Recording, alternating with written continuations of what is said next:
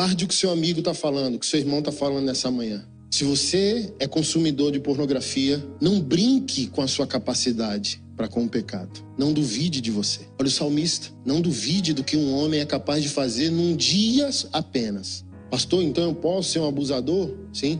Nem todo consumidor de pornografia é um abusador, mas todo abusador é um consumidor de pornô.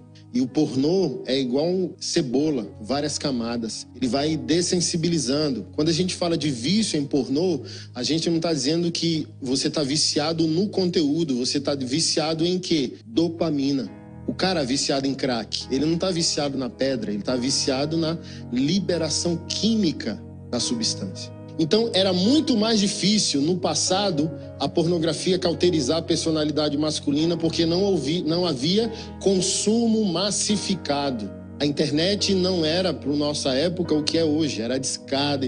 E hoje dessensibiliza fácil pelo alto consumo. Aí homem e mulher não serve mais, o cara já gozou tudo que tinha no pornô básico. Vai para um novo nível. O novo nível não dá mais a sensação da droga no corpo, vai para um novo nível. Por que que o mundo parece que virou gay? Não virou, irmão. Sabe o que está acontecendo? Os homens romperam a fronteira sexual.